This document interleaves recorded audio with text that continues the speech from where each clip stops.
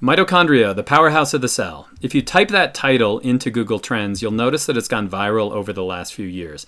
And that's because of memes like this. What are taxes and how do I pay them? School system says, worry not, mitochondria is the powerhouse of the cell. So it speaks to the trivial nature of information like this, that you took biology and it's the only thing that you can remember. Now, I would argue that that might be trivia, but understanding where the energy comes from in a mitochondria is difficult. And I'm going to try to cover that in this video. But ironically, over those last two years, the mitochondria has become more and more important in showing us not only where energy comes from, but where we come from. So here's a typical picture of a cell. Here'd be the mitochondria right there and there. Um, there's a lot of inaccuracies in this picture. There are not just two, but thousands of mitochondria in each cell. But if we look at the role of the mitochondria, is to convert our nutrients, convert food into carbon dioxide and water, but more importantly, to release energy in the form of ATP. Now, energy just doesn't come from nowhere. It's neither created nor destroyed. So where was it before it was in the ATP? Well, the energy was in the nutrient. It's in the glucose itself. More specifically, it's in the bonds between the hydrogen and the carbon in the glucose. So those are high energy bonds, and so there are going to be high energy electrons between the hydrogen and the carbon, and we can use those, and we will use those later in this video. So the glucose is outside the mitochondria and the cytoplasm, or inside the cell itself. We've got two membranes, an outer and an inner, with an inner membrane space between the two. And then if we go all the way to the inside of the mitochondria, we're going to have the matrix. Now there's some interesting things here. Uh, mitochondria have their own DNA, um, they have their own ribosomes, and those will come into play a little bit later in the video. And so at the biggest picture, what happens to nutrients is that they're broken down. So the process of glycolysis releases a little bit of ATP, but a lot of those chemicals are moving forward into the Krebs cycle where we release a little bit more ATP, and then eventually we go to the electron transport chain. The thing I want you to understand is this is where all of that ATP is released. That's the most interesting part of cellular respiration. If we think about the energy in glucose, we can represent it on an energy diagram. These are really simple. Basically, if it's high on this free energy diagram, it means that it has energy, available energy that we can utilize. We can release that during a reaction. Easiest way to do that with glucose is to simply burn it. If you just burn glucose on a, uh, fire, you're going to release a huge amount of energy, energy in those high energy electrons. Now in the mitochondria, it's a little more complex than that. We have a series of steps and a series of drops.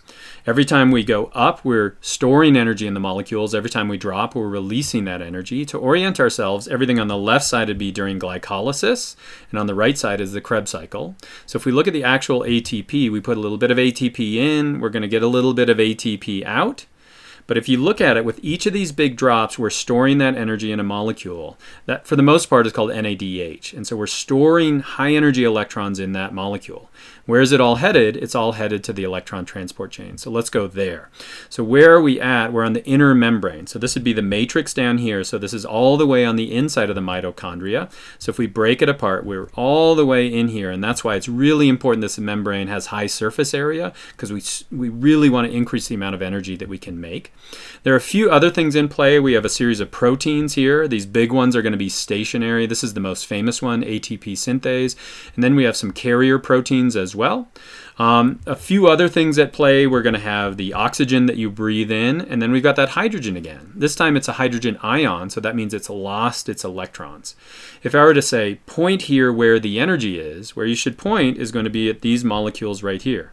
So it's going to be in these high energy molecules that came from the food. But watch what happens as we go through the electron transport chain. As those electrons move through these complexes and, and move across, every time they move through one of these large protein complexes, what's it doing? It's pumping one of these protons out of the matrix and into that inner membrane space. Now we have to do this again to complete the set. So we've got electrons coming in, they're moving across. Notice as they move through, it's like a drop after a drop after a drop in energy. We're using that energy to pump those protons, the hydrogen ions, outside the matrix into that inner membrane space. And so when we're done, we've got the electrons here. Now where are they going to go? They're going to move to the oxygen that we take in when we breathe. And what does that create? That creates water.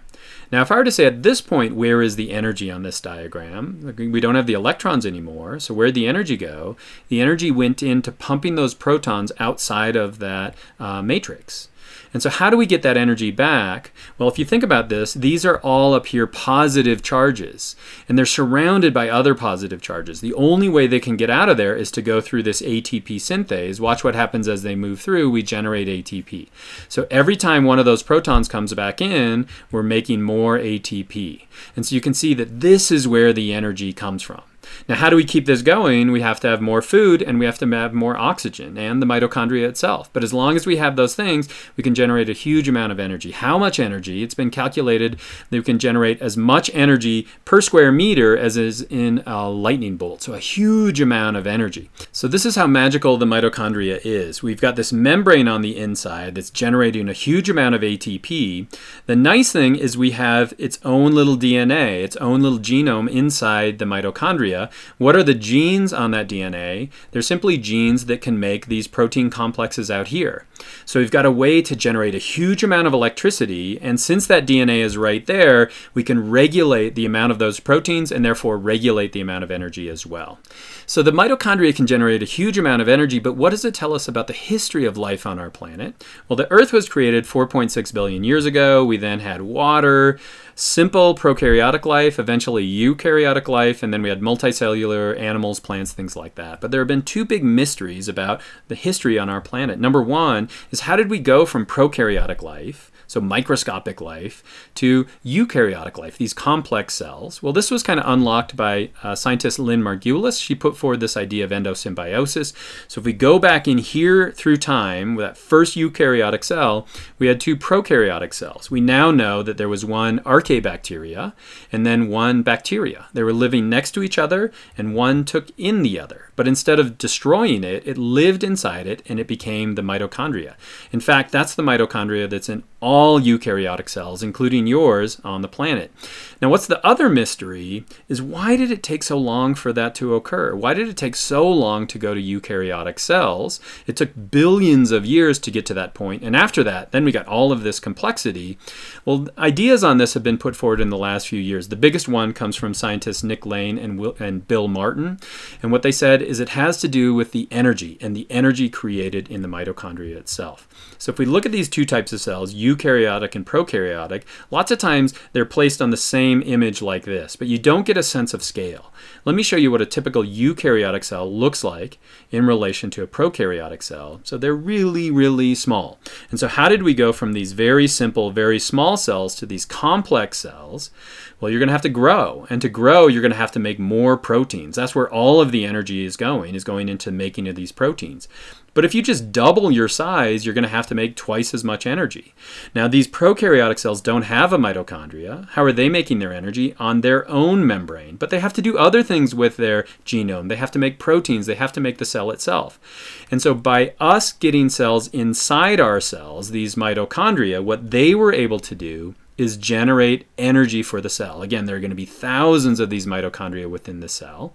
What's nice is the nucleus can focus on making the proteins for the cell, What's the mitochondria going to do? It's just going to crank out energy. Thousands of times more energy than we had in these prokaryotic cells. And so if it wasn't for the mitochondria and its energy making ability, we wouldn't have eukaryotic cells, we wouldn't have a multicellular life, and we wouldn't have us. So is that trivia? Well, maybe.